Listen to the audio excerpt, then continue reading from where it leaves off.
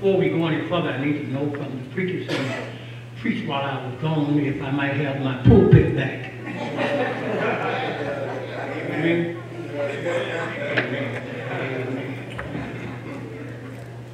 The Lord is good.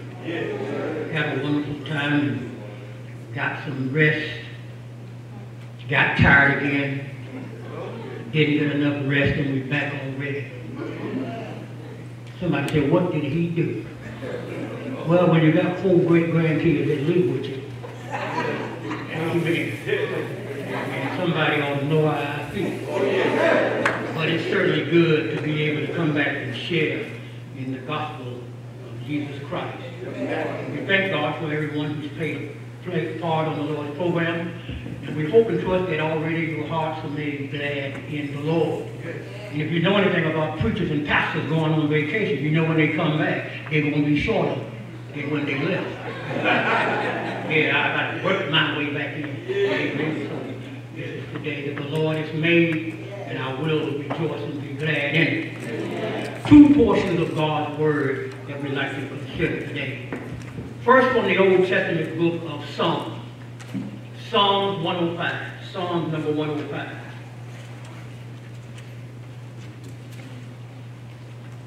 Psalm 105.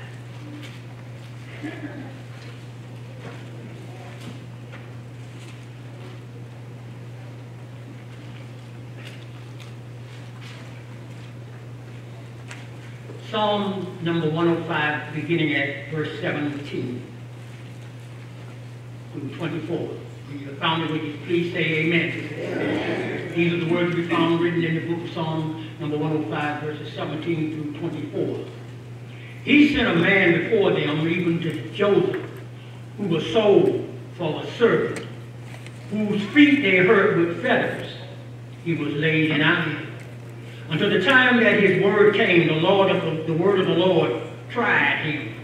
The king sent and loosed him, even the ruler of the people, and let him go free.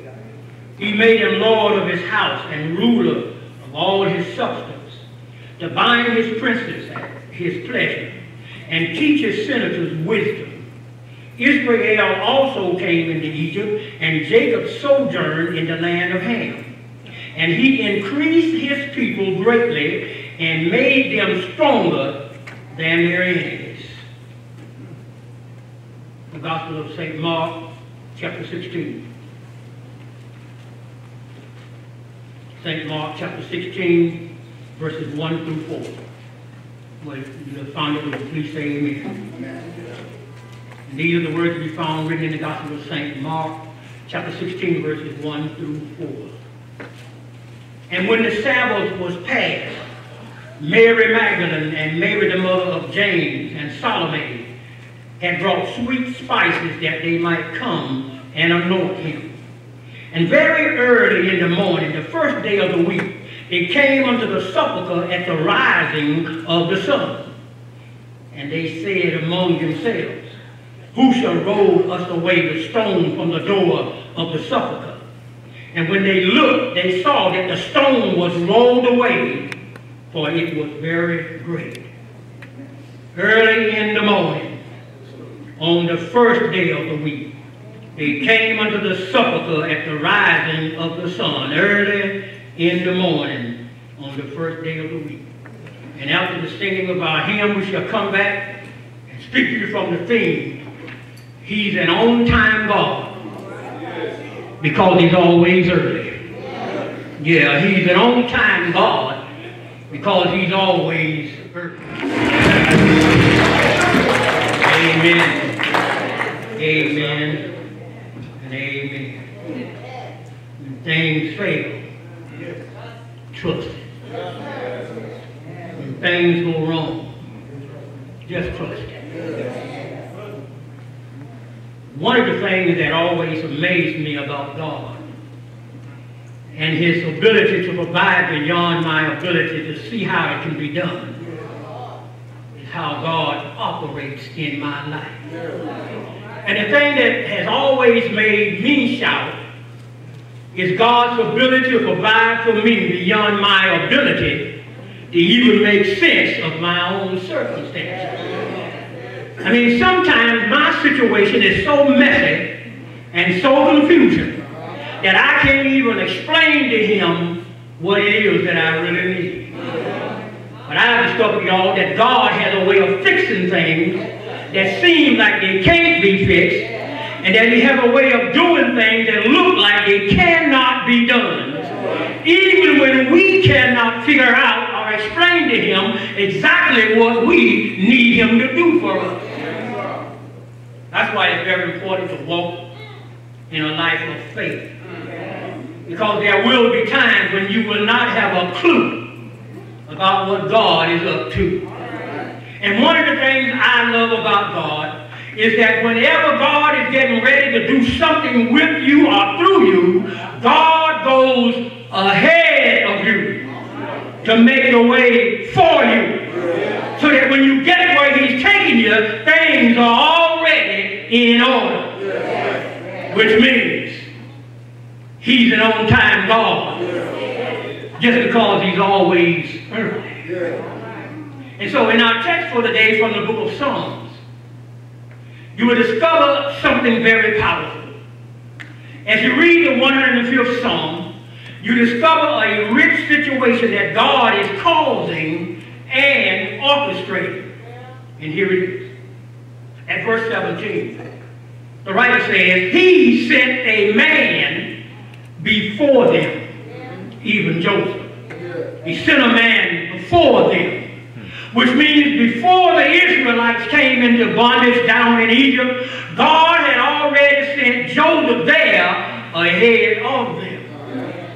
And I know it may not look like much as you look at it with the naked eye. But somebody's going to leave here today shouting on that one word, before. That one word, before implies that something has been previously set up by God on our behalf. You remember that Israel was in Egypt for 450 years. And you recall that Moses, by divine intervention, was raised by Pharaoh's daughter in the house of Pharaoh in preparation for God to use him to deliver the people out of Egypt. And it was Moses whom God placed on the stage to become the liberator and the emancipator who sets the scene for awesome miracles that God would perform in their lives. But it all happened because Joseph was sent down to Egypt before them. Y'all missed it. God has worked out the ending from the beginning. Because the steps had already been taken for the plan of God to be worked out because Joseph was sent to Egypt before them. And do you know why? You're going to make it out of whatever situation you're going through right now.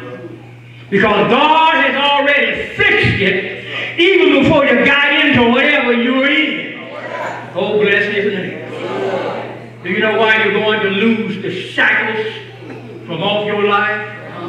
Because God had already loosed them before you got trapped and tangled up in whatever has you bound. And that's what I want to center on today. That word in the text, before. That the church says, before. before. Because before is a word of declaration. Before is a word suggesting that you can be confident knowing that God has already worked out your out of control situation. And I don't think I'm the only one in here that's going through out of control situation. But that's just the way God works. All you got to do is read your Bible. And you will discover that God is not just an on-time God. God is not just a right now God, but our God, the God we serve, is a beforehand God. Before means already. That's why we say he's already done what he said he would do. And yes, I could go to the Bible for a testimony about how God works beforehand. But there's got to be somebody up in here today, somebody right now who can say, Preacher, I am a witness myself. What are you trying to say, preacher? If the doctors don't know how you walked out of the hospital,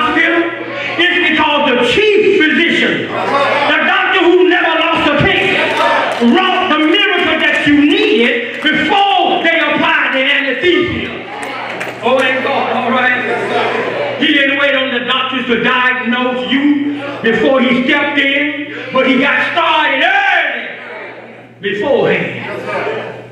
And is there anybody in here who knows that our God is a beforehand God? Is there anybody in here who knows that our God is already involved in the outcome of your situation?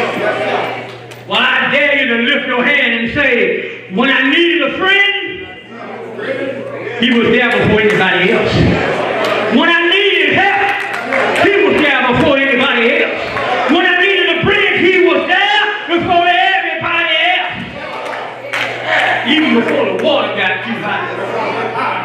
I don't know who you are and what you're going through right now, but I stopped by to tell us whoever and whatever it is, God was in it even before you got into it. And I don't know who came in here depressed about whatever.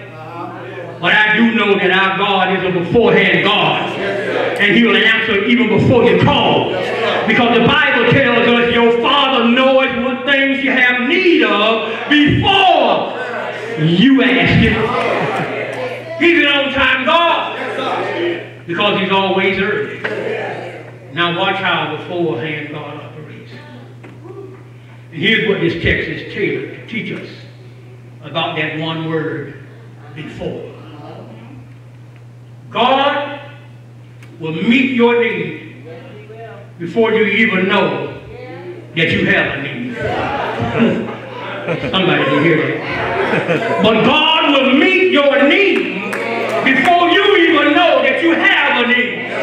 Oh, ain't God all right? In theology, we call that the foreknowledge of God. In philosophy, they call it the a priority activity of God. Logically, it's called the providential causality of God, which means that God causes stuff to happen long before things are known to happen, so that by the time they do happen, God has already caused it to happen, and it happened even before you knew that it happened. Sure. I shouldn't have to work this hard day after vacation. But can anybody testify that God stepped in and worked out what you were working on before you knew it?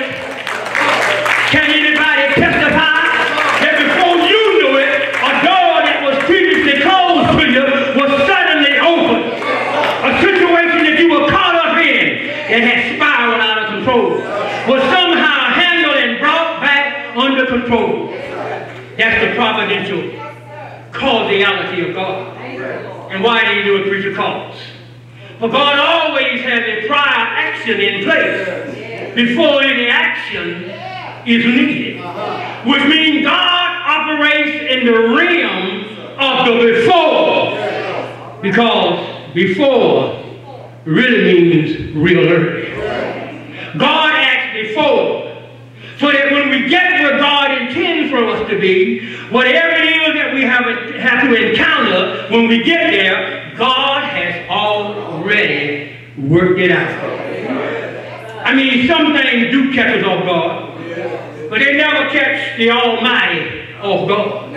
And when you look back at some of the problems that you thought were impossible to face, the only reason you can shout today is because God devised a plan and began working it whenever you find yourself in a place where you can't meet your needs, and whenever God disturbs where you are and sends you off in search of where he wants you to be, just know in faith that God has already handled that situation. Because before you got there, and before you even knew you needed what you need, God was already there, shuffling and moving things around, and even moving the obstacles that were soon coming into your life. Early. That's why I don't let the devil steal my praise. That's why I don't let the devil steal my joy. Because I know that whatever he throws at me, God already has provided a way for me. Do it. Oh, ain't God all right? And child of God, whatever you face today, that you didn't expect to face. Don't you let the devil get you upset and depressed and discouraged. And you leave the church today. Go home and pull the curtains, shut up inside, put your answering machine on, and start throwing yourself a private pity party. Encourage yourself in the Lord and tell yourself, I didn't know this thing was coming, but God knew it, and He it so early that it was worked out even before it got to you. Somebody here ought to shout beforehand about deliverance from a need that you don't even know about yet. You ought to make a prophetic praise and say, I don't know the need that I'm shouting about. I don't know the sickness that I'm shouting about. I don't know the struggle that I'm shouting about. I don't know the headache that I'm shouting about. I don't know the disappointment that I'm shouting about, but I'm shouting anyhow. Because whatever it is, Whatever is coming, God has already worked it out. God has already made a way for me out of it. And I didn't even know I needed it. And the reason he's an on-time God is very simple. Because he's always early. I'm going quick to my clothes. Got to work my way back into this thing. But can I help somebody real quick? If I can shout over being delivered from something that I didn't know was coming, and I sure enough ought to be able to shout over anything that I'm facing right now. Because if he's already worked out what I don't know is coming, that must mean that he's already worked out what I'm going through right now. And is there anybody in here who can say I'm dealing with a serious situation right now? But I know God is already work it out. I'm in an awful dilemma right now, but I know God has already worked it out. I'm facing a tremendous trial in my life right now, but I know the Lord has already worked it out. Is there anybody here who can wave your hand and say it was done before I do it? Come on, I need some beforehand praise today. Because while you were trying to figure it out, that it blew up before it got to you. Go there you go. While you were going to the doctor, God healed you, Trina, before your doctor began treating you. While you were filling out the application, God hired you before you got to the interview. While you getting ready to get your credit straight, God pre-approved you for the mortgage loan.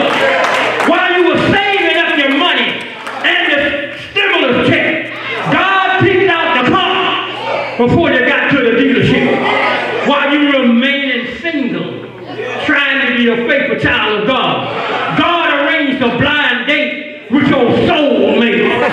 While your child was acting a fool, God had already saved us. While you were praying for your child that's on crack, God had already delivered. While you were praying for your child who's in jail, God had already met the bail and assigned a release date. Oh, ain't God all right?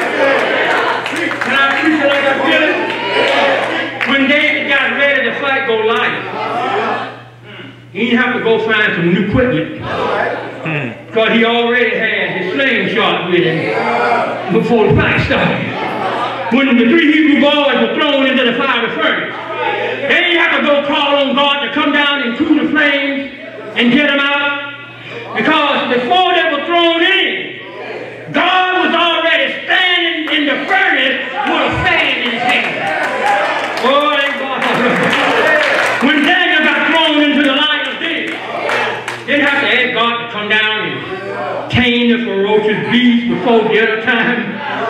Because before he was thrown in, God had already sedated the lion and put him to sleep. When Elijah got into the widow's house, she didn't have to go to the grocery store to get something with which to feed him. And she didn't have to have a whole cup of food.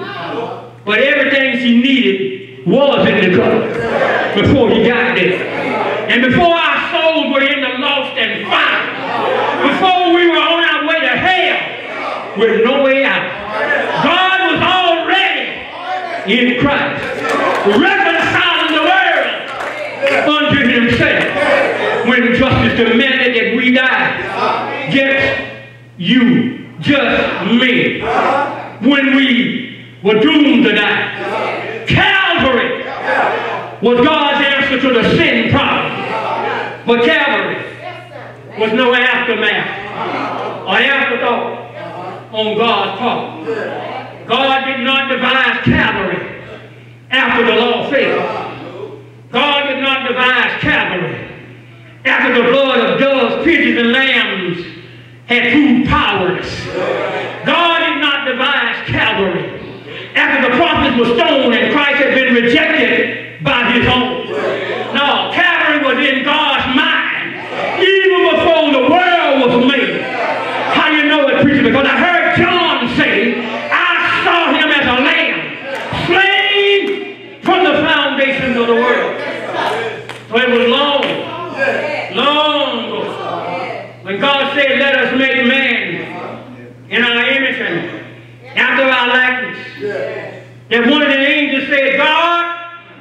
If you make that man All right. with a choice and decision making practice, he gonna sin against you. But Jesus said, "Yeah, Father, he'll do it. But if he sins. I'll come down and pay the price of his redemption. I'll go down and redeem man from his sin." And that's just what it is. Before any of us were born into sin before any of us became a sinner, before any of us went astray, before any of us had lost our way, before any of us knew we had a need of salvation, Jesus decided to die for our sins, for your sins and my sins. He decided to die for the sins of the world. And after forty-two two generations from the promise of Abraham, that's exactly what he did. At Calvary, Jesus died for our sins. At Calvary, he died.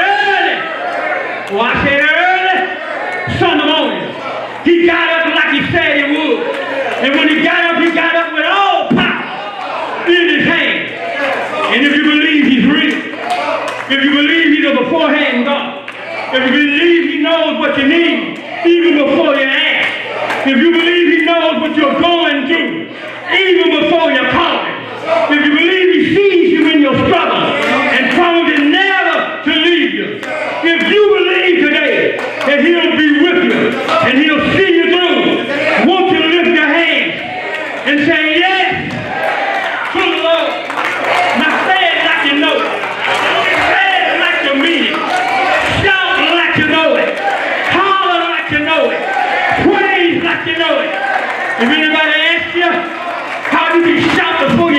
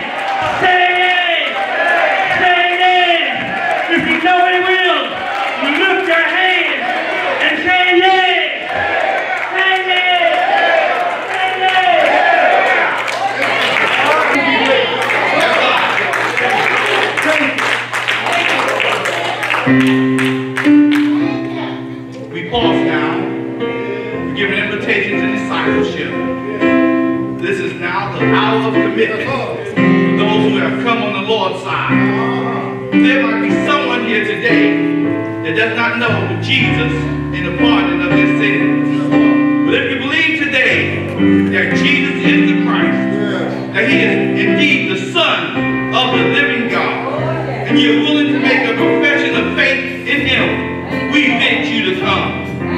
Somebody here may have gotten weak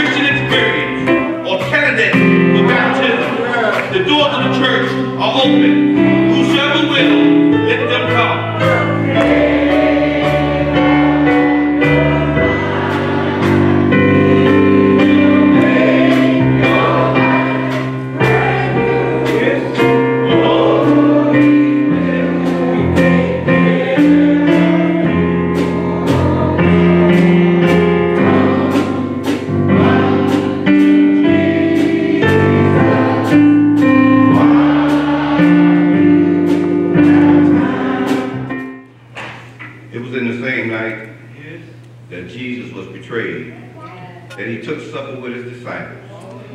He took bread, gave thanks, broke it, and said, Take, eat, for this is my body, which is broken for you.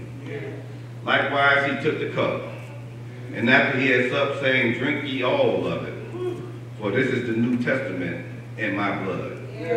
For as often as you eat of this bread and drink of this cup, ye do show the Lord's death, burial, and resurrection till he come. Let us pray. Eternal God, we come now in the strong and mighty name of your Son, Jesus, our Lord and Savior. We thank you, Father God, for your grace. Thank you for your mercy. We know that there's nothing that we have done, nothing we can do to deserve your unmerited favor. Favor for loving us so much to send your son to save of mankind from a dying world of sin. We thank you, Father God, for Calvary. Thank you for your shed blood of redemption. We thank you for his death, burial, and resurrection, who now sits on the right hand of power, making intercession for us. God, we thank you for sending the Holy Spirit to lead and guide us. And now, Father God, as we prepare to partake of the Lord's Supper, it is our prayer that we become one with you. Amen. The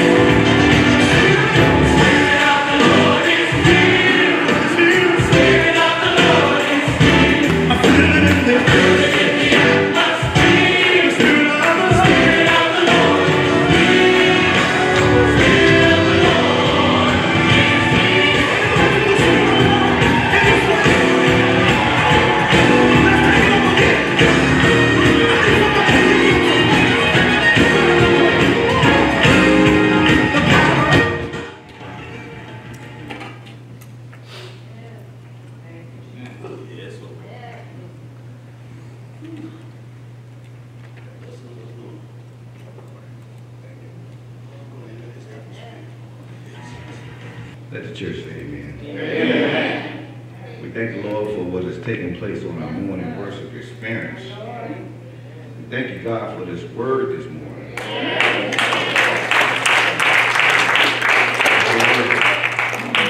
We thank the ministers for their work. We thank the ushers for their work. We thank the mu- music ministry for their work today. Last but not least, we'd like to thank all of you who thought it our robbery to come out this morning and join in our morning worship experience. They call today Independence Day, or We know most of you got plans, whether you're gonna go home and fire up the grill or go over to somebody's house. We just ask that whatever you do today, do it safely. There's a lot going on in the world today, and we ask God for His grace and His mercy for what is yet to come. We understand that there's a tropical storm down south of us that's scheduled to, they say it's gonna hit us, we're right in the cone, cone of the storm. But we pray to God that it misses us. Amen. We like to say, good morning to, to Deacon Brian over there. How you doing, Deacon Brian? Amen. Good to see you. We've come into the house of the Lord. We have done as he has commanded, and yet there's room for more. But certainly we thank the Lord for what he's allowed us to do under the unction of the Holy Spirit. We'd like to remind everybody this Wednesday night, Bible study, promptly at 7.30 with our pastor. Hope to see you there. Amen. Anything from our deacons? No, sir. If all hearts and minds are clear, we're now ready for our benediction. Sweet, sweet spirit with a threefold amen.